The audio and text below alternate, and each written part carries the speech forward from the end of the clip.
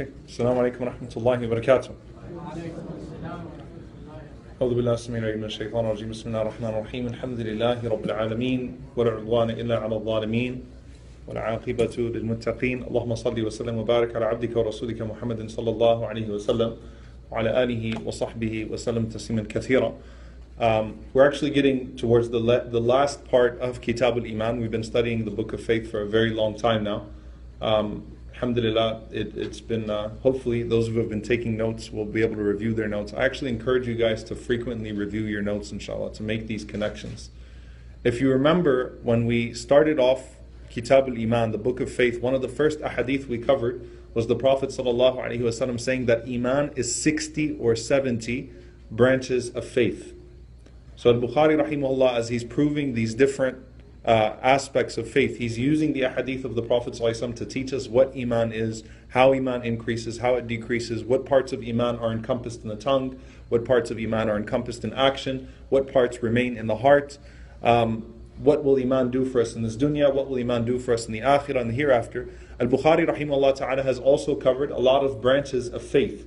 So the branch of faith that he's covering, and this is again uh, the way that he structures his book, um, the last branch of faith that we're going to cover is this one, and he chose it to be the janazah.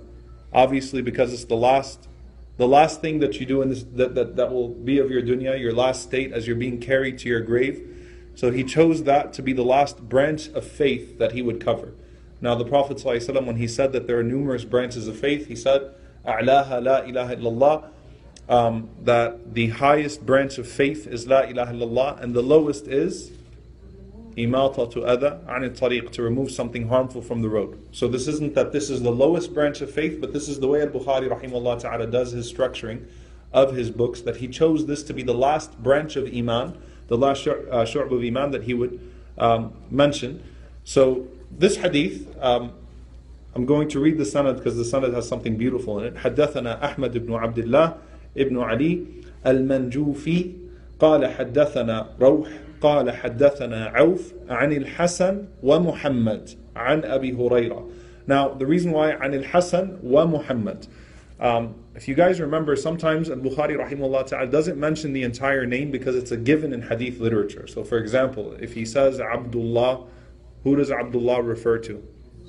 Abdullah bin Mas'ud radiallahu anhu. For example, here he says Al-Hasan wa Muhammad. There are a lot of Hasans and there are a lot of Muhammads. All right? But he said Al-Hasan wa Muhammad. Al-Hasan and Muhammad narrate this hadith. Who do you guys think Al-Hasan is and who do you think Muhammad is? Al-Hasan, Al-Hasan ibn Ali, or Al-Hasan al-Basri. This is Al-Hasan al-Basri. Sayyidu Tabi'een, the great, the greatest scholar of the, of the generation after the Prophet Al Imam Hassan al Basri, rahimahullah ta'ala. So if the if Al Hassan is mentioned without any name after it, then it's referring to Al Imam Hassan al Basri, rahimahullah ta'ala. Now, uh, also he says Al Hassan and Muhammad narrate the hadith. Now, which Muhammad do you think it is? That's a tough one. I don't. Maybe the Qalam students would get it. Who's a famous Muhammad that lived alongside Al Hassan, was considered a contemporary of Imam Hassan Basri? Muhammad ibn Sirin, rahimahullah ta'ala. Imam Muhammad ibn Sirin, rahimahullah ta'ala. They are contemporaries, they are of the two greatest of the tabi'een. So he says Al Hassan and Muhammad narrate the hadith. And this is beautiful because uh, only one of them is required for the chain, for the sanad, right? For the chain. But he's saying both of them separately narrated the hadith as well.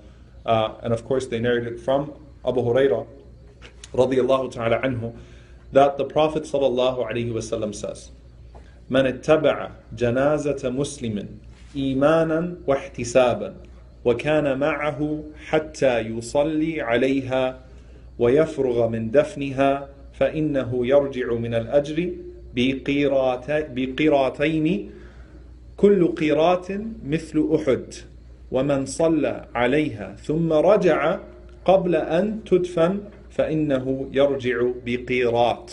Okay, so the hadith is that the Prophet ﷺ says that a believer who accompanies the janazah of a Muslim out of sincere faith and hoping to attain Allah's reward. Iman and wahtisab, and if you realize this is very common in what the Prophet ﷺ, as he presents a good deed, he frequently puts these two conditions.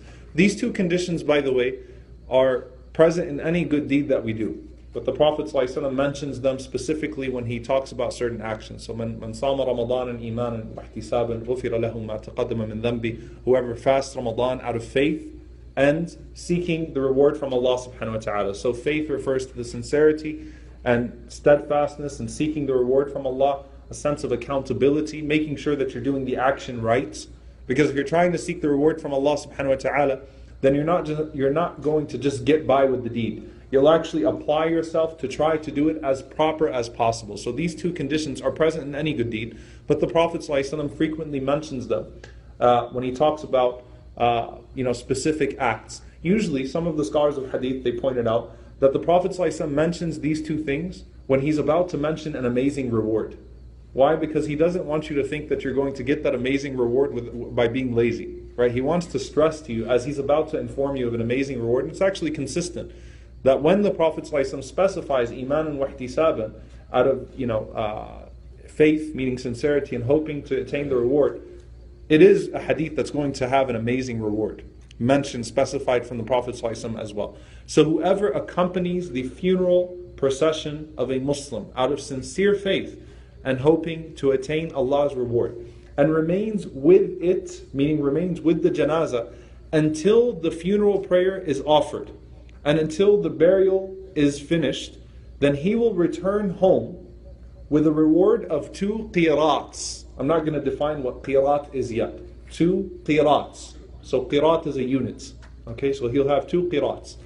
Then the Prophet ﷺ said in the hadith, he's asked, What is a qirat, Ya Rasulullah? The Prophet says, A qirat is a mountain the size of Uhud. A mountain the size of Uhud. So two two qirat, two mountains of good deeds, each of them the size of Uhud. The Prophet ﷺ says, if a person prays the janazah and he follows until the until the defen, until the burial, he has two qirats. Now, if he offers the janazah and he returns before the burial, the Prophet ﷺ says, "Falahu qirat," then he will have one uh, one mountain of good deeds as reward. Now, the, the chapter of this is uh, Bab Tiba'ul Janaiz min al Iman. So it, it's the chapter of following the janazah is a form of faith because al-Bukhari rahimullah is mentioning branches of faith. So it's a very simple and straightforward chapter. But as we said, Ibn Hajar rahimullah says that al-Bukhari mentioned this as the last, the last branch of faith in the book of faith because this is the last state of your dunya. And he also said something beautiful. He said, the time you will need your iman most is when you go to your grave. That's the time that you will really, really need it. So it's the last state of your dunya, and it's the time where your iman will be most precious to you. He also says, rahimahullah ta'ala, uh, it, uh, uh, following here does not mean, as some people misunderstood it, to literally walk behind the janazah, to literally walk behind the body.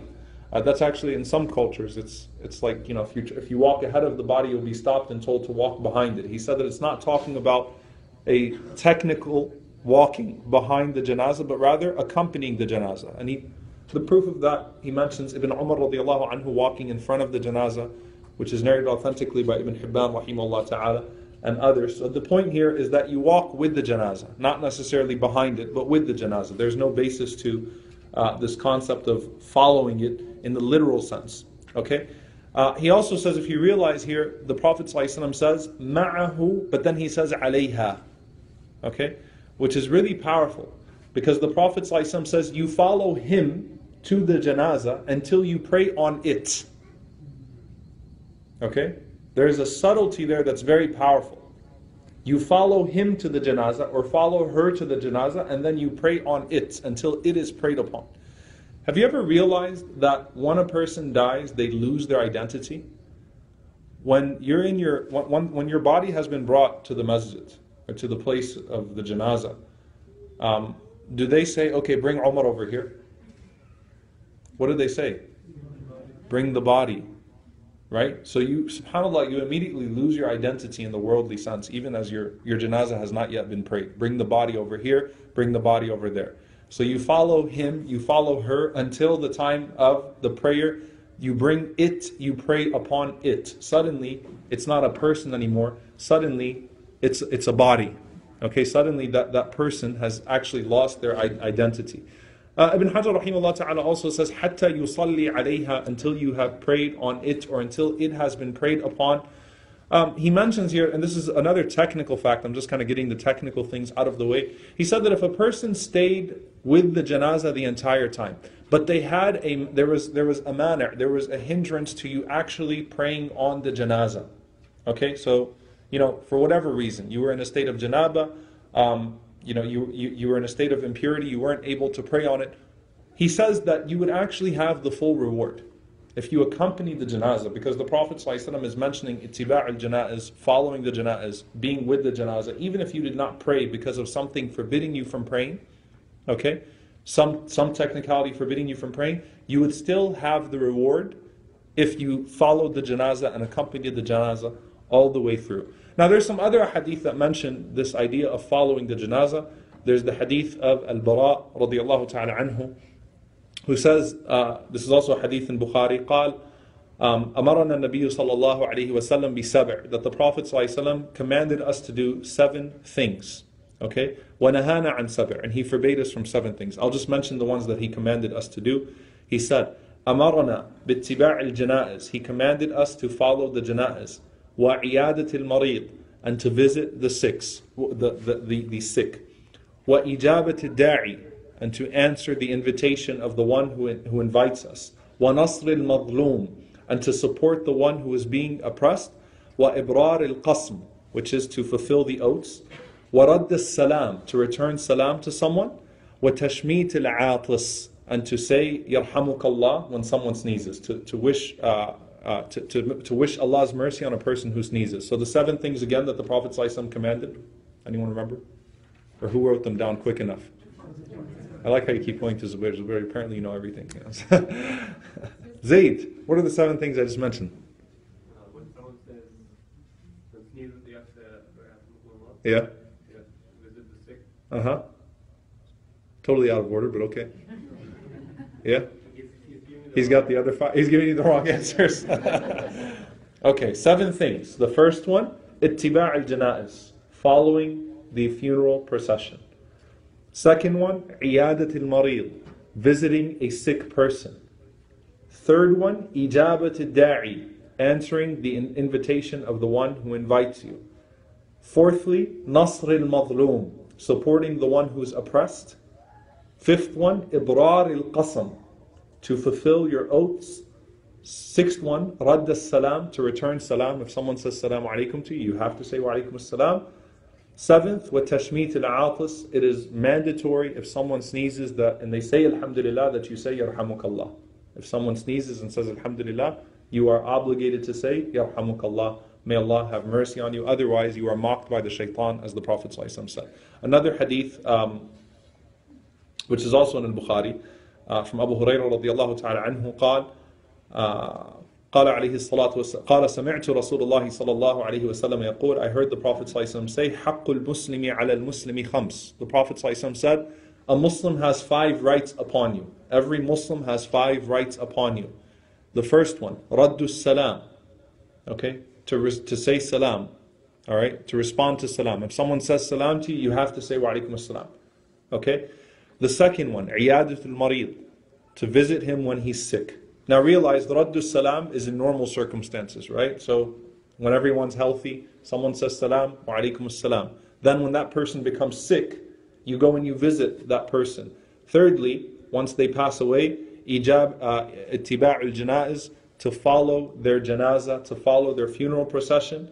Then he says, sallallahu alaihi wasallam, wa ijabatu da'wa, وَتَشْمِيتُ الْعَاطِسِ The Prophet ﷺ says to, to, uh, to answer the invitation of a person when they invite you and to say Allah, to wish Allah's mercy upon, upon them uh, when they sneeze. So these are actually the rights of a believer upon you. The Prophet ﷺ mentioned them as five in one hadith. In another hadith, we were commanded to do seven. Al-Bara radiallahu anhu says we were commanded to do seven things. Okay? Now, just a little bit on the history of Salat al-Janazah. Okay, because janazah is a very interesting institution in Islam. We don't have the exact date when janazah was legislated. When did the Muslims start praying the funeral prayer on somebody? All right. Now, obviously, there was this concept of once a person passes away, you ask Allah's forgiveness for them, you pray for them. But when was the janazah actually legislated? So we know that it wasn't legislated when Khadija radiallahu anha passed away. Because it's mentioned as, it's, it's very painful that the Prophet when he buried Khadija radiallahu anha, he buried her and she was not, she did not live to see the time of the legislation of Salatul Janazah. Khadija radiallahu anha passed away 10 years after the beginning of the revelation. So she passed away 10 years after Al-Bi'tha when the Prophet ﷺ, uh, was 50 years old. It was now the first janaza that is narrated is the janaza of Al-Bara ibn Ma'rur. Al-Bara ibn Ma'rur. And he's an interesting character, radiallahu anhu. Al-Bara ibn Ma'rur was the first person to take the pledge with the Prophet sallallahu alaihi wasallam in the first Bay'atul Aqaba, the first pledge of Aqaba. But he did not live to see the hijrah of the Prophet. ﷺ. He died a month before the hijrah of the Prophet, ﷺ, the actual migration. So he came, he was the first one to initiate the pledge with the Prophet. ﷺ. But by the time the Prophet ﷺ made his way over to Medina, uh, Al Bara radiallahu ta'ala anhu passed away. When the Prophet ﷺ came to Medina, the Prophet ﷺ prayed on him. So there's salah on him. Then the first companion to die in Medina, As'ad ibn Zurara, the Prophet ﷺ also prayed on him. And then Uthman ibn Mad'un, the Prophet ﷺ prayed on him. So janazah was an institution sometime between the death of Khadija and the death of Al-Bara. Most likely the first year uh, of, hij- uh, of Hijrah when the Prophet ﷺ made his way to Medina because we don't have any narrations of janazah in Mecca. So it, it came in that time. Now, as far as visiting the graves is concerned, to give you some context, the Prophet ﷺ forbade people from visiting the graves. So it was considered haram through 20 years of the Prophet ﷺ's you know, calling for people to go visit the graveyards, men and women. What that meant was the only time you went to the graveyard was when? When you were burying somebody. That was it. Okay? So you, you only went to the graveyard when you were going to bury somebody Otherwise, it was considered haram, not makruh, not hated. It was considered absolutely prohibited to visit the graveyards. Why? Why do you guys think that is? Shirk? Is it shirk to visit the graveyards? The fear of taking people. But wasn't that going to happen anyway? Right? Ghosts. Ghosts? Oh, okay. All right. The crying and the wailing. Don't people still cry and wail? Taking it as a place of worship. But don't people, don't we have people that still do that today? So, what's the issue here? Anybody? So the Prophet ﷺ wanted Tawheed, wanted the concept of monotheism to be settled in the hearts of the companions so that when they went to the graveyards, once again, there would be absolutely no corruption of that monotheism. There is no way that you can stop ignorant people coming later on in life and building upon the graves and doing certain things at the graveyard and so on and so forth. But the Sahaba had to understand, the Sahaba had to get to a point where monotheism had settled in their hearts to a point where there was no fear on them worshipping the people in the graves or doing any practices that would be objectionable. At that point, you can imagine 20 years of the call of the Prophet. At that point, they understood the foundations of Tawheed. They knew who Allah subhanahu wa ta'ala was. All of the all of the shirkiyat, all of the associations with Allah subhanahu wa ta'ala had really been wiped out by that point. So even if the Prophet ﷺ did not give them a single instruction, when they went to the graveyard, they weren't going to make dua to the people that are dead. They weren't going to build upon the graves because Tawheed had already settled in their hearts. So the Prophet ﷺ kept people away from the graveyard while the religion was still being formulated while the religion was still taking roots in people's hearts. Realized the Prophet ﷺ had a very serious fear of people building upon the graves and people doing certain things with the graves, which is why when the Prophet ﷺ was passing away, he said, Bury me in my room. La'an Allah Yahudu wa Nasara. May Allah curse the Jews and the Christians that took the graves of their prophets as tombs. So the Prophet ﷺ said, Keep me away from the public. Don't put my body out there. And subhanAllah, look at the. This is actually one of the proofs of his prophethood. If the Prophet ﷺ wanted to, he would have said, you know, bury me in this place, make a huge tomb, and so on and so forth, so that people will come and visit and all the type of stuff. The Prophet ﷺ himself wished that his grave be in his room. SubhanAllah, he was buried in the same place where he used to pray his qiyam, where he used to pray his night prayers, where he used to sleep, and so on and so forth. In that same room, the Prophet ﷺ was buried, and nothing was built on the grave of the Prophet. ﷺ. There is nothing on top of the grave. I know if you Google, if you do a Google image thing on search of the Prophet ﷺ's grave, you're going to get all these different tombs. Most of them are Ottoman tombs or things from, they have absolutely nothing to do with the Prophet ﷺ's grave. There is no tomb on the grave of the Prophet ﷺ. He was buried underground and there was nothing that was built on top of his grave. So the Prophet ﷺ wanted people to have a understanding of the religion before that door was open. Now, why did he open that door in the first place? Why did he, seven years after Hijrah, approximately seven years after Hijrah, why did he open the doors for people to visit? Yes? To remind them of death. He says, Inni nahaytukum an ziyarat al-qubur. I used to forbid you.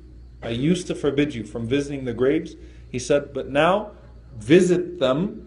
Why? Because it reminds you of death. تُذَكِّرُكُمْ بِالْمَوْتِ It will remind you of death. It's good for you to go and to remember death. So it became a sunnah after it was haram to visit the graves without the purpose of a janazah. You guys understand? It's sunnah to go to the graveyard and to reflect. Okay? Without janazah being there. And the Prophet ﷺ used to frequently visit Al Baqi and the companions used to visit the graveyard and so on and so forth. And the Prophet ﷺ, of course, uh, the last trip he made outside of his house was to Al Baqi, was to visit uh, the people that had passed away in Medina, in Al Baqi. So it became a sunnah at that point to go and reflect. And each one has its own flavor, right? I mean, going to the graveyard when it's quiet, when there's no janazah going on, and you can sit there and you can reflect and you can look around, it has its own form of tadabbur and tafakkur, its own invitation to contemplate and to really take the moment to reflect on the fact that this will one day be you. Whereas a janazah, seeing a person being brought you know, the grave being opened, them being placed in the dirt, the people throwing the dirt on top of them, the family members crying, and so on and so forth, that has its effect as well. That reminds you of death in a different way. It engages your iman in a different way. So both of these things, after the death of the Prophet at that point, became sunnah. Okay, and this is why Allah subhanahu wa ta'ala even told the Prophet ﷺ, إِنَّكَ مَيِّتْ وَإِنَّهُمْ مَيِّتُونَ that you are going to die you are bound for death, and they are also bound for death. So even the, Allah subhanahu wa ta'ala reminded the Prophet that you will die like them.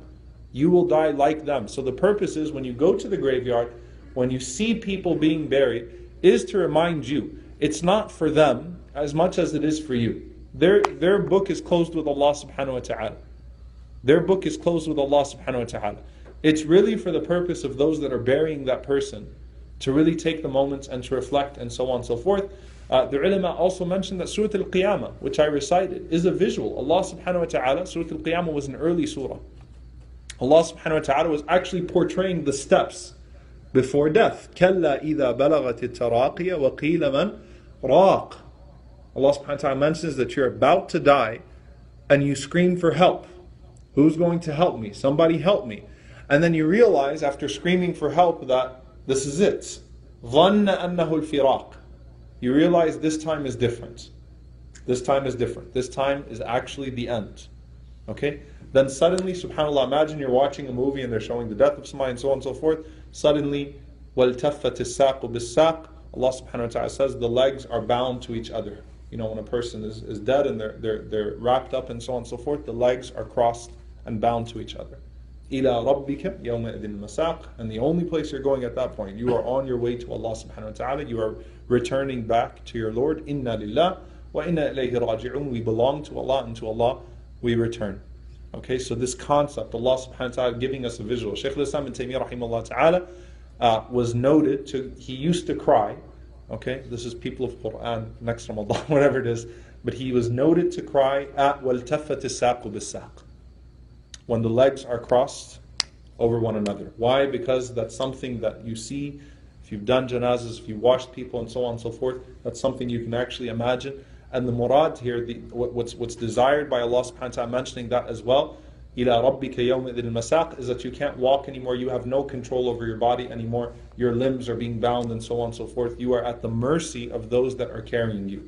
You are completely at the mercy of those that are carrying you now, on your way back to Allah subhanahu wa ta'ala, returning to Allah subhanahu wa ta'ala.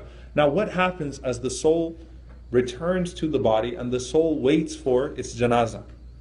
Okay? Now, when a person passes away, and this is this is how it works, you will have a good idea of what's going to happen to you as you are dying.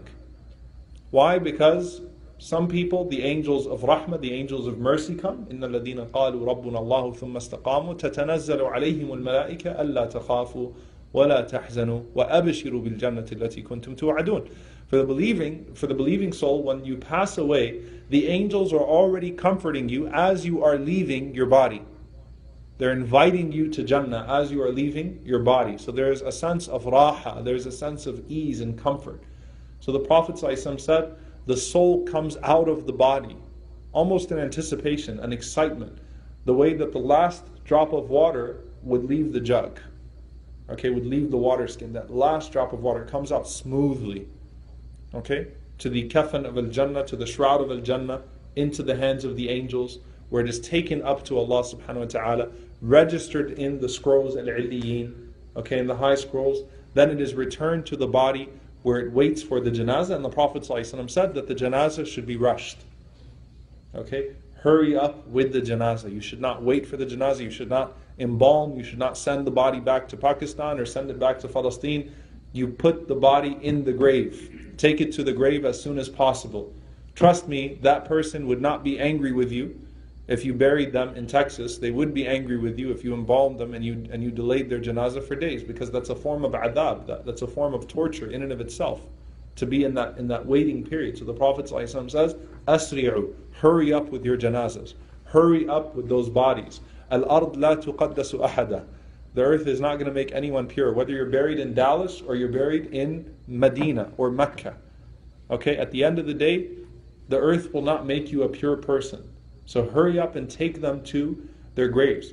The ulama say at that point, when the person, because this is talking about tiba' al janaza, following the janazah, when the person is placed on the shoulders of the people, and that person is being taken to their grave, some of the ulama, they said that the ruh is within the jasad, so the soul is still within the body, it's back into the body. Some of the scholars said that the soul circles the body. Like it's, it's surrounding the body. It's around the body, it's connected, but it's not inside at that point. So it's watching the, the, the procession.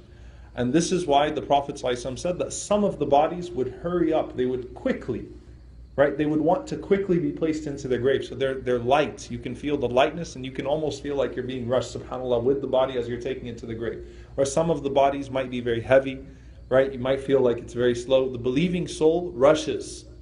The believing soul looks forward to that next step because the believing soul knows that which comes after will be better and will be more comforting. Whereas the you know a wicked soul is as hesitant as as can be. The wicked soul does not want to be taken. The Prophet ﷺ, he said that when the believing soul is taken, when the believing soul is being carried. Now, the sunnah of the Prophet ﷺ in Ittiba' al Janah is actually to carry the body, to put it on the shoulders, right? That people actually get under it and they put it on their shoulders and they carry the body. The Prophet ﷺ says that when the believing soul is being taken to the grave, the believing soul shouts, Qaddimuni, Qaddimuni, Qaddimuni, Qaddimuni. Hurry up and take me, hurry up and take me, hurry up and take me. Advance forward, go, go, go. SubhanAllah, the believing soul is hurrying the janazah up. But the Prophet ﷺ says, and if the soul is wicked, the soul shouts out, Ya waylaha, Ya waylaha, ayna tadhabuna biha. Ya waylaha, Ya waylaha, ayna tadhabuna biha. Woe to it, woe to it. Where are you taking it? Where are you taking it? So the wicked soul, may Allah subhanahu wa ta'ala protect us from being of those people, actually is trying to slow down the janazah. Don't take me to the grave. Where are you taking it? Woe to it. Not yet. Hold on. What are you all doing? Can't you all hear me? So on and so forth. The Prophet ﷺ said the wicked soul continues to shout, and obviously no one would hear their cries, and may Allah subhanahu wa ta'ala protect us of being amongst those people. So it's a very, you know, this is a very critical junction, a very critical point where you're going from the salah to the grave. And the people are carrying the body, and the soul is either in anticipation or the soul is in complete fear of that which is to come. The Prophet ﷺ then said that as the body is placed within the grave, as the body is placed within the janazah, uh, within the grave, the Prophet ﷺ says that the grave squeezes the person. Everyone will feel a squeeze as they're placed into their grave. Rasulullah said if anyone was to be spared from that squeeze, it would have been who? Sa'ad ibn Mu'adh radiallahu anhu. He said, even the one for whom the throne of Allah shook when he passed away, out of farah, out of joy. The throne of Allah shook out of joy that Sa'ad's soul was returning to occupy one of the lamps under the throne, to occupy its rightful place. Even when Sa'ad ibn Mu'adh died, there is a squeeze, there is a hugging. There, it's, it's either very severe or it's very light when a person is initially placed into their grave. Then the Prophet ﷺ says that a person would hear the last footsteps to leave their janazah. You would hear the footsteps walking away from your grave. And the Prophet said, Allah would cause them to hear all the way until the last footsteps. The janazas at the time of the Prophet what were they? When a person was being taken to their grave, when a person was being buried, did the people used to make a lot of noise? Did the people used to chant anything? Did the people used to make these speeches at the grave? Did the people used to do eulogies? No, they didn't do any of that. Did the people used to mourn and scream? No. The Prophet ﷺ when he took the body and he places the body. The hadith in Abu Dawood is very beautiful because it shows you the way that the Sahaba used to observe janazah. The Prophet ﷺ placed the body inside the dirt, and the Sahaba were كَأَنَّ عَلَى رُؤُوسِهِمُ الطَّيْرِ as if they had birds on their heads, meaning they were completely still and silent. They buried the companion. The Prophet ﷺ says, "Istaghfiru li akhakum." Seek forgiveness for your brother, فَإِنَّهُ الْآنَ يُسْأَل because he's being asked right now. So everyone, take a few moments, make istighfar, seek forgiveness, make dua for that person. So they would quietly make dua, quietly seek forgiveness, quietly reflect. I mean, compare that type of janazah to our janazahs today. Everyone is quietly reflecting, making dua with the person. And Amr ibn al-As radiallahu ta'ala anhu, as authentically narrated, he, he told his kids, he said, when you bury me, then don't leave the graveyard right away. Wait next to my grave for some time until the messengers of my Lord approach me, until the angels come to me. Why? Because again, you hear the last footsteps that would leave as you're placed into the grave. So subhanAllah, he's saying to his kids, when you bury me, wait, wait a little bit, don't leave right away until the rusul, the, the, the malaika, the angels of Allah subhanahu wa ta'ala come to me. And that's at that point uh, a person would answer. And, and again, look, you, you can't a lot of times I know there are a lot of practices here like people prompting the dead like when the angels come to you and they ask you man rabbuk say Allah. And when they ask you who's your messenger? say Muhammad when they ask you what's your religion? say Islam it doesn't work that way. It's not that easy. Okay? If that was the case it would it would be pretty smooth. It doesn't work that way when those angels come that person has to be in a certain spiritual state to be able to answer those questions this is not just knowing the answers in your head otherwise an ex-muslim would know how to answer those questions Okay? This is a very, very serious moment at that point. You can't prompt the dead to say, you know, this is what you're going to say just to remind you when you pass away. There is no communication. You're not, you're not able to, to, to change anything at that point. But instead, staying with them, making dua. The sunnah is to bury them and to stay for a period of time after they pass away, asking for Allah subhanahu wa ta'ala's forgiveness for them. It is between kiraha and tahrim, between being severely disliked and being absolutely prohibited to speak about matters of the dunya. The majority opinion of kiraha, of it being disliked, to speak about matters of the dunya at the janazah. Think about the janazahs you've been to. You've got the family standing on one side, people come, everyone's crying, they say salam, give them a big hug. Just a little bit over, people are already talking about their lunch, they're talking about getting back to work. People haven't seen each other for a long time, so what are you up to these days? SubhanAllah, people engage in their conversations about dunya while they're still at the graveyard. Like, talk about not getting the point. There's a person being buried in front of them, and they're already talking about matters of the dunya. So it's considered extremely disliked. Extremely disliked. To talk about matters of the dunya at the janazah. Uh, to some of the scholars in, in the classical books of fiqh, it's even to a point of tahrim. It's even to a point of, uh, of being uh, forbidden. Now, what is the reward of going with the janazah? The hadith the person that has accompanied the janazah. What is the reward? The Prophet ﷺ says, once again, if a person prays, they catch the salah, they would have one qirat. That's one mountain the size of Uhud. Now, if any of you have ever seen Uhud, how many of you have seen Uhud? It's huge, isn't it? And it was probably even bigger back then, okay? It's huge. It's not a mountain, it's more like a valley. It's a huge range. I mean, subhanAllah, a huge mountain. The Prophet ﷺ frequently used to do um, amthal with Uhud. So he used to frequently draw analogies to Uhud because it was the biggest mountain that was known to them. So the Prophet ﷺ says you would have a mountain. Can you imagine Uhud in good deeds? Can you imagine Uhud in this dunya in dhahab, in gold? If you had Uhud in gold.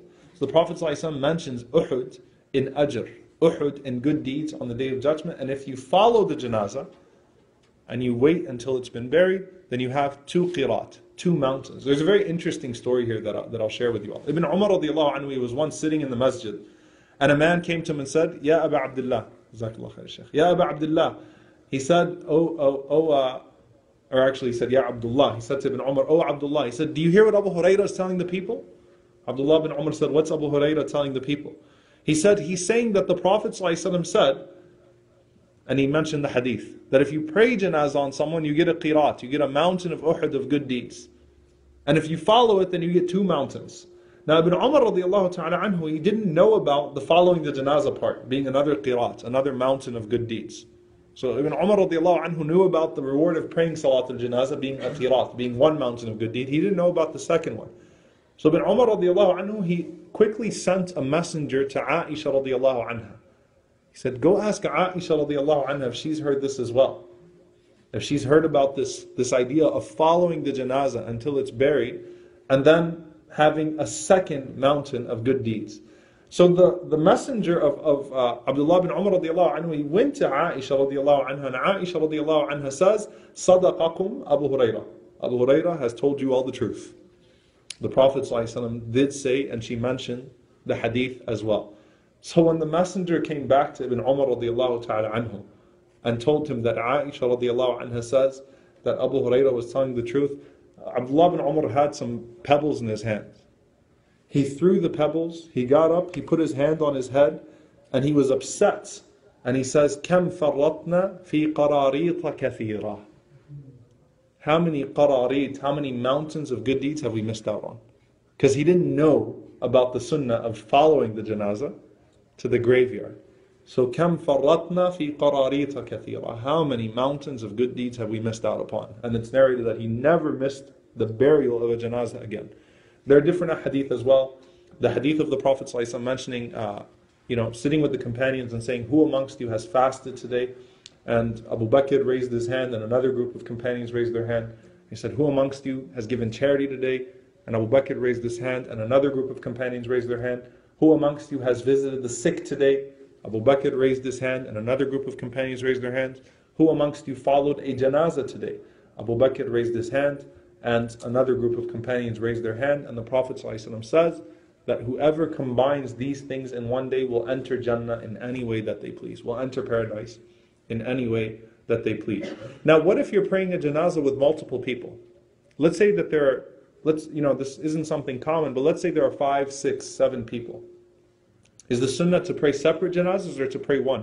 one? But don't you want to get the qirat of each one? Right? So technically, let's say in Medina or Mecca, right? Especially when there's a janazah after every salat, there are multiple. As-salatu ala al-amwat, as-salatu ala tiflain, and so on and so forth. What does it mean for you? Okay, tiflain or the or the amwat, the babies and the amwat and, and the dead and nisa, the women and so on and so forth. What does that mean? Do you get the ajr of one salah when you pray on them all? No. If you prayed one salatul janazah on 10 people, that's 10 qirat. That's actually 10 mountains of good deeds. Okay? So the it's not the salah part that's being mentioned in the hadith, that's being referenced in the hadith, but as Qadi Iyad says, it's the person that's being prayed upon. So if you prayed and there were 10 people, that's 10 qirat, 10 mountains. Alright? And if you followed the janazas of those 10 people, that's another 10 mountains. That's 20 mountains of Uhud in good deeds. So it's the mercy of Allah subhanahu wa ta'ala uh, that we have uh, from Allah. Finally, just as a last note, because um, mashallah, we have a lot of sisters here, and a lot of sisters are like, well, this doesn't apply to us, this isn't fair, this is only for men. what is the position of women going to the graveyard? It is a very, it, is an ikhtilaf, it's a difference of opinion. Uh, the difference of opinion arises from the Prophet ﷺ cursing az-za'irat, the women who frequent the graveyards, and na'ihat, the women who would slap their cheeks and would scream at the graveyard and cry loudly and so on and so forth. Now, niyaha, which is wailing at the graves, is forbidden for men and women.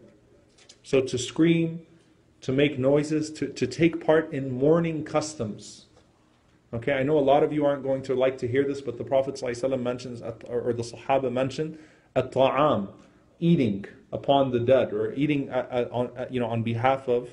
the, the hadith is from Jarir ibn Abdullah, al-ijtima' ila al-mayyit, to gather with the, with the relatives of the deceased, and at-ta'am, and to eat. Kunna na'uduha min niyaha. He says that we considered it to be a form of niyaha. It was from the wailing that hurts the dead. The Prophet ﷺ mentioned not to mourn and so on and so forth. Most of the customs, I, and I, I know this is deeply offensive, and you'll say, but we've been doing this for so many years, and you know this is how it works in this country and that country. And I don't care if it's from Saudi Arabia and this is the custom at the dead, almost all of them, without exception, are innovations. And in fact, run contrary to the Sunnah. The sunnah is that the relatives of the family gather with each, they, they, they, they, gather alone. They're to be left alone. In fact, the Prophet ﷺ mentioned in the hadith of Ja'far, when Ja'far anhu passed away, to prepare food for them, to give them the food, because the women don't have time to cook right now. Let them, let them not have to worry about responsibilities. Now we do the opposite. We make the families, we burden the families with having to worry about this huge group of people coming to their house. It's literally the opposite of the sunnah. Okay? So the sunnah is that the family members are left alone, their matters are taken care for them. So you take care of their stuff for them, you ease the burden. They don't want to see anybody right now, and it's deeply offensive when people come and sit in their house and start talking about irrelevant stuff. Right? You go and you sit and, you know, astaghfirullah, inshallah to Jannah. Then, you know, how about them cowboys? It's like, wait, what, what just happened here? right? People immediately, almost immediately drift into their other conversations. That, how, how is that in accordance with the sunnah? Allahu alam. Has nothing to do with the sunnah, right? So, niyaha was forbidden for men and women. This concept of mourning or long eulogies or customs when a person passes away, it's, it's forbidden for men and women. Okay? A certain type of coffee, uh, like you drink a certain type of coffee, you eat a certain type of food. Trust me, gathering and eating biryani or eating steak is not going to benefit the dead. You want to give sadaqah? Give sadaqah to some poor people. It's not going to benefit the dead. All the customs were ruled out. So the Prophet particularly hated the custom of people coming to the graveyard and screaming and so on and so forth and shouting out, Wa Sayyida, and so, you know, you know, chatting, chatting all these great things about the person after they passed away. Now, this was particular to the, the, the women of that time, the women of Jahiliyyah. They had this, this, uh, this custom of niyaha which is that they would go to the graveyard and they would hit themselves and they would scream out poetry. And in fact, even in some Arab Christian cultures today, they still have na'ihats. There's still a profession, there, there's still a group of women that follow the janazas, that follow the funerals, and they do niyaha, and even in some Muslim cultures as well. Okay, so that was hated by the Prophet ﷺ. The Prophet ﷺ cursed the women who do that because that was a predominant practice of the women. But now here's the thing Aisha radiallahu anha and a large group of the ulama believe that there is absolutely nothing wrong with women going to the graveyard. And in fact, the dua of the graveyard, the dua of what to say in the graveyard, of its most authentic narrations, is when Aisha asked the Prophet, ﷺ, When I go to the graveyard, what should I say? Now, if it was haram, the Prophet ﷺ would have said, Why are you going to the graveyard? But he taught her the dua. Okay? And so this is a, a, a, dispute. Why? Because Aisha anha, when her brother Abdurrahman ibn Abi Bakr, he died a few miles away from Mecca. Aisha radiallahu anha made her way over uh, when he passed away. And when she got to Mecca, she said, Where's the grave of my brother? Where's the grave of my brother? So they pointed her towards the grave, and she went to his grave a month later, and she prayed janazah on him. And Aisha radiallahu ta'ala anha, she used to visit his grave. Now some of the Sahaba, uh, they said to her, Abdurrahman ibn, uh, ibn Abi Mulaika, he came to her and he said, Didn't the Prophet forbid women from, from going to the graveyard? And Aisha responded and said, That was when the Prophet ﷺ forbade men and women from visiting the graveyard. So when the Prophet ﷺ lifted the prohibition of visiting the graveyard, he lifted it for the men and the women, but the prohibition on niyaha remained. The prohibition on za'irat, na'ihat, on women screaming and so on and so forth, that remained. So according to Aisha radiallahu anha, and she is the most authoritative figure on these masail, on these issues, especially when it comes to women, no one's going to understand like she does. When it comes to the Prophet ﷺ and the fiqh of women, she is the one who teaches the fiqh of women and almost everything else. So Aisha did not understand the Prophet ﷺ to have prohibited women from praying janazah and from going to the graveyard. It is a difference of opinion. To some of the madhahib, um, you know, uh, they do hold that it's prohibited. Um, some of the schools do not hold that it's prohibited. Um, and Imam Ahmad rahimahullah ta'ala was a strong proponent of, of this idea that women could pray the janazas and they could even go to the graveyards so long as they don't frequent them and they don't carry out these customs uh, that were known to the Arabs before. So, Allahu Alam, that's just an opinion to put forward, uh, which I believe, and there, there are other evidences as well. Uh, one of them, the woman who um, the Prophet saw her in the graveyard and she was crying, and the Prophet ﷺ told her to be patient, and she responded with, uh, you know, what do you know of my situation? She basically lashed out at the Prophet ﷺ. And the Prophet ﷺ left her, and then the Sahaba told her that you lashed out at the Prophet ﷺ. So when they told her that, she was so apologetic. She went to the Prophet ﷺ, she sought forgiveness, and so on and so forth. And the Prophet ﷺ told her that as-sabr and the sadmat al-ula, that true patience is at the first strike. Again, no censorship, no condemning her for being there, and so on and so forth, but instead the idea of showing patience when the tragedy strikes you. So Allah knows best, but it seems that, you know, again, it's a, it's a difference of opinion there. Uh, but there is a strong, you know, uh, there, there is strong evidence that it's okay for women to go to the graveyards as well, to pray janazah and go to the graveyard, so long as they abstain from objectionable things. So it is something that's good for us to do, inshallah ta'ala, to follow the janazah. Let's try to think like Ibn Umar radiallahu ta'ala anhu a little bit. You know, when, when we hear of a janazah taking place in the city, we should make an attempt to go and pray that janazah, and if we have the time, we should actually make the attempt to follow that janazah, inshallah ta'ala. Um, Wallahu ta'ala alam, we ask Allah subhanahu wa ta'ala to have mercy upon our dead, to allow us to have husn al khitam, to allow us to have good endings, and to allow us to be amongst those that are greeted by the angels of mercy and not by the angels of wrath and punishment. Allahumma ameen. Questions? Yeah. attending the funerals of non-Muslims is, is, is also a difference of opinion. Uh, the strongest stance, or the stance that I hold, Allah alam, is that it's okay to go. It's just not okay to participate in the rituals. Uh, why? Because the Prophet ﷺ, the very famous hadith that uh, uh, the janazah of a Jewish man passed by the Prophet ﷺ, and the Prophet ﷺ stood up when the janazah of that Jew passed by, and they said, Ya Rasulullah, it's not even a Muslim, it's a Jew. The Prophet says, Is it not a human being? SubhanAllah. You talk about respect. It's, it's beautiful, right? So, that idea of showing respect, showing respect to the dead who are not Muslims, is fine. Just you can't participate in the ibadah and the rituals and so on and so forth. Um, so, Allahu Alam, it seems that there is absolutely nothing wrong with it, inshallah, but a person should avoid the rituals. Yeah. What's that? Can the dead hear? Um, if Allah wants them to hear. to be honest, there you know there's really no there is no there isn't a blanket statement that indicates that the dead can hear. But can Allah make the dead hear in certain situations? Yes, He can. Like when the Prophet ﷺ, um, after the Battle of Badr, when Abu Jahl was killed and, and Uqba was killed, and some of the greatest enemies, the oppressors of the Muslims, were killed. The Prophet ﷺ spoke to them. And he says that we have found what Allah has promised us to be true. Have you found what Allah has promised you to be true? And they said, Ya Rasulullah, can they hear? And the Prophet said, They can hear just as you can hear. I mean, they hear very clearly. At that point, Allah made them to hear. So the general rule is no. The general rule is no. But if Allah wants to make them hear, they can hear. Okay? The general rule is that no, we assume that the dead can't hear. All right, there are a lot of questions here. I'm gonna go sister, brother, sister. So I'll go brother now, and then we'll come back inshallah. So the issue of the women um, going to the graveyards, is that just visiting the graveyards or following the The issue is following the janazah and visiting the graveyard. So, so there's a variance of opinions there. Some of the scholars said, well, if the woman is in the masjid and a janazah takes place, then she can pray janazah, but she shouldn't go with the intention of praying janazah. Some of them said she can go with the intention of praying janazah, but not follow the salah to the graveyard and so on and so forth.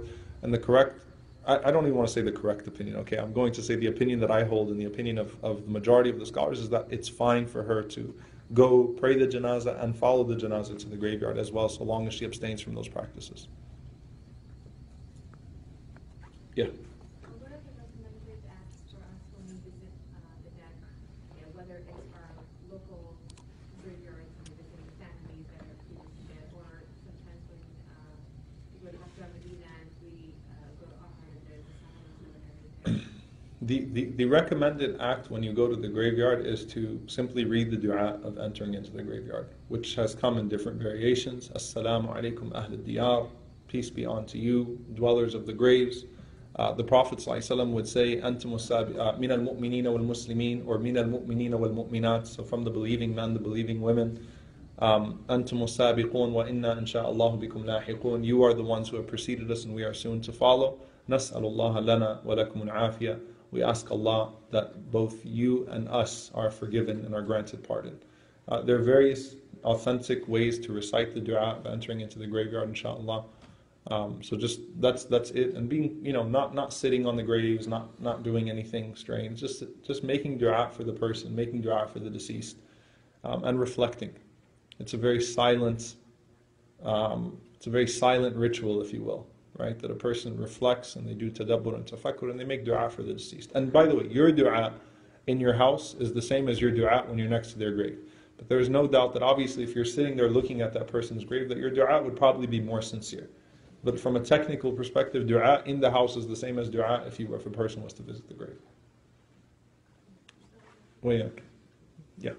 I have two questions. The first is, um, at the death of Sa'd bin Mu'adh, I heard that his mother spoke highly of him. And do we understand that as a eulogy that's done in the masjid and not at the grave, or is that just not, is that an exception to the rule? Okay, so eulogies. Uh, what's haram with eulogies is, is like an, an organized speech and so on and so forth, and, and extolling the person and mentioning, you know, lavishing praise on them. Because look, when everyone passes away, you know, and, and if you just watch the news every night, and you watch the family of the deceased, when everyone passes away and they start talking about that person, oh, he was the best friend I ever had, most loyal person, most kind person. Everyone has the same description, right? And that's why when the Prophet ﷺ, when he heard the companions speaking ill of somebody when he passed away, the Prophet ﷺ says, Wajabat lahu nar, hellfire became mandatory for him. Because if you're so bad that people can't find anything nice to say about you, even when you die, you must have really been a zalim. Like you must have seriously been an oppressor and a transgressor right? But on the other hand, the Prophet ﷺ mentioned when the, when, when the Sahaba spoke well of a person, the Prophet ﷺ says that wajabat lahul jannah, that paradise became mandatory for him by virtue of the good things that you said about him. Antum. You are the witnesses of Allah on this earth. Allah makes the ultimate judgment, but you are the witnesses of Allah on this earth. So when a person passes away, certainly we should speak well of them and we should make dua for them and so on and so forth, but not organized rituals. Um, so, for example, one of the, the famous eulogies, which was just a natural speech, a nat- natural words of praise, was when Abu Bakr passed away, the eulogy of Ali radiallahu anhu for Abu Bakr radiallahu anhu. It's beautiful. So there's a concept of speaking well and mentioning and so on and so forth. But just not these long, drawn out speeches that are formal, that are rituals and so on and so forth, mourning gatherings, right? Not mourning with you, but or not or not mourning without the you, but mourning with the you, right? Like actual mourning gatherings and so on and so forth, rituals where people come and offer speeches. That's what's prohibited, and that's where the Prophet mentioned uh, that when a person is buried and the people start to chant out all these these things, the angels poke that person and say, "Ahakada kunt." Were you what they say about you? You know, are you really what they say about you?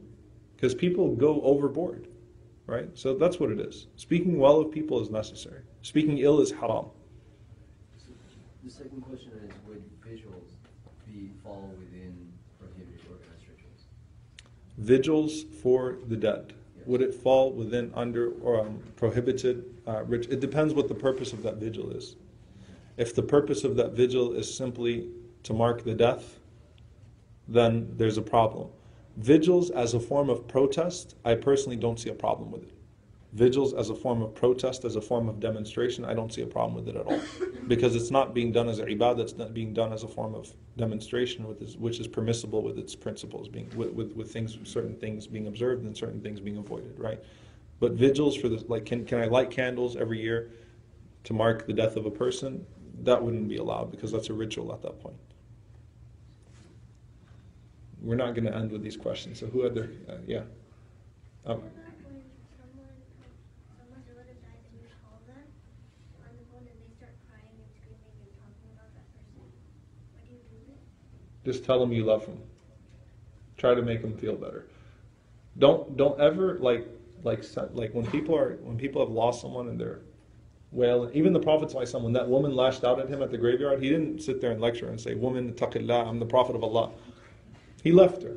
At that point, don't you know you're not in the you're not in the right state of mind, the right frame of mind, which is why you need to prepare yourself before that moment on how to carry yourself. So just at that point, be quiet, hear them out, tell them you love them, inshallah, and try to make them feel better.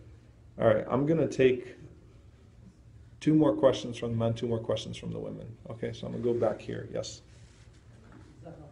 Oh, yeah. Muslim doesn't know that aware of janazah and the masjid. You just came in and one prayer, there's janazah. You still get the qiraat. Yes. That's Allah, that's hal. That's just the, the blessing of Allah. If you showed up at the masjid and there happened to be a janazah and you stayed and you prayed the janazah, do you still get the qirat? That's fine. You still get one qiraat. And also the other part of the question is for the Shahid al-Hafiz. Uh-huh. You still do it for non-Muslims also? No. Tashmeet al-atas, which is to say yarhamukallah, is when a Muslim says alhamdulillah when they sneeze. Bless you. Is not yarhamukallah. Okay, in this Saying bless you is, if you mean yani, hidayah, may Allah guide you, that's fine. You can wish prosperity. for, for those brothers who doesn't speak Arabic, you say bless you or rahmatullah. You say yarhamukallah. So they have to know this word. If, if they don't know what you, if they just hopefully they don't think you cursed them out. I mean, I've never said yarhamukallah. If the Muslim knew enough to say alhamdulillah when he sneezed, then most likely he's going to know somewhat what yarhamukallah is, right? So, inshallah, if someone gets mad at you for saying yarhamukallah, just let me know. Sit him down and explain it to him, inshallah. All right. Yes. Y- you, yeah. Uh, just one question.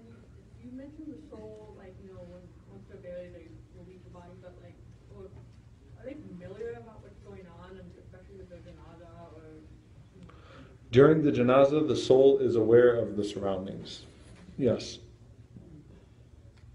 The Prophet ﷺ says, Yatbir al mayyit thalaf that the, the dead person is followed by three things.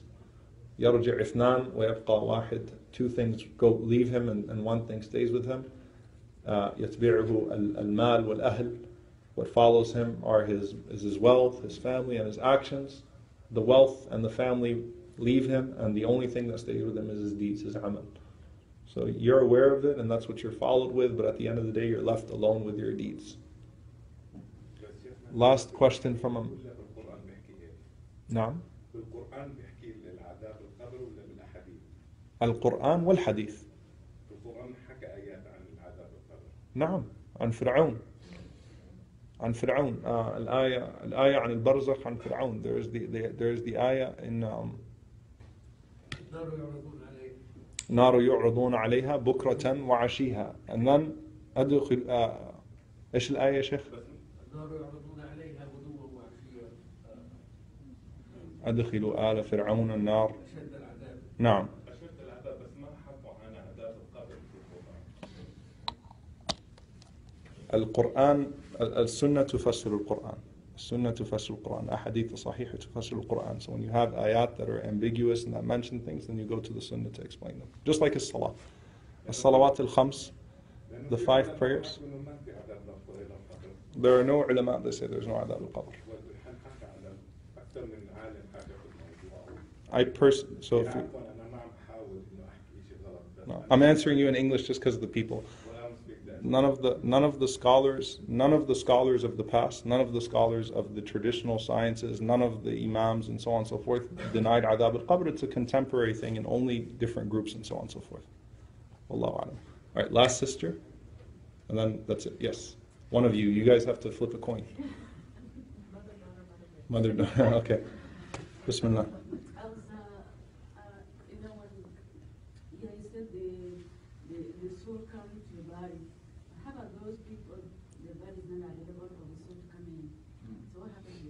Allah will deal with them in a, in a unique way. So people have exceptions, Allah will deal with them in a unique way, which is why the Prophet ﷺ mentioned to us the man who told his children to cremate him so that Allah cannot punish me because he was afraid of the punishment of Allah. So he told his kids to cremate him, to burn his body to ashes. Then the Prophet ﷺ said, Allah gathered him and said to him, Why did you do that? And he says, خشيتك يا رب وأنت أعلم that you were that I was afraid of you, O Allah, O my Lord, and you know best. So غفر الله له بذلك. Allah forgave him because Allah saw the sincerity in it. But it doesn't. If a person had a death that's unique and so on and so forth, then they'll be dealt with in those unique circumstances. Wallahu a'lam. All right, guys, we've gone way too late tonight. جزاكم خيرا سبحانك اللهم وبحمدك أشهد أن لا إله إلا أنت أستغفرك وأتوب إليك.